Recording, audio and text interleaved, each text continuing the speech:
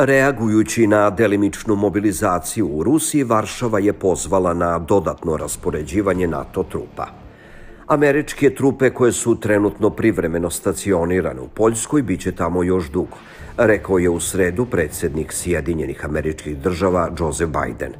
Komentar je dat usput nakon događaja u Beloj kući, a Biden nije precizirao tačno vreme – Varšava je zatražila od Vašingtona da trajno rasporedi trupe u Poljskoj, ali bi to tehnički prekršilo sporazum NATO-a sa Rusijom.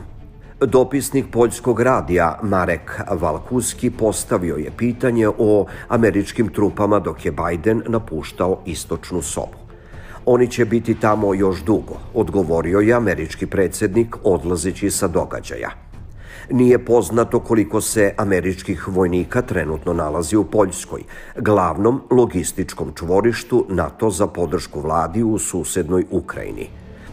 U maju je američki ambasador u Varšavi otkrio da se u zemlji nalazi preko 12.600 hiljada američkih vojnih lica, što je najveći broj u istoriji. Varšava je pozvala na raspoređivanje dodatnih snaga NATO u Poljskoj i balističkim državama u septembru, kao odgovor na delimičnu mobilizaciju rezervista u Rusiji.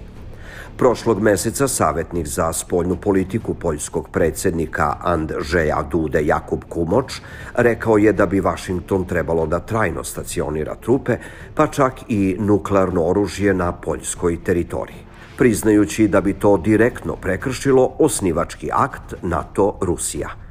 Kumoč je razvoj sporazuma iz 1997. godine nazvao mrtvim slovom na papiru, rekavši da ga je Moskva poništila svojom invazijom na Ukrajinu.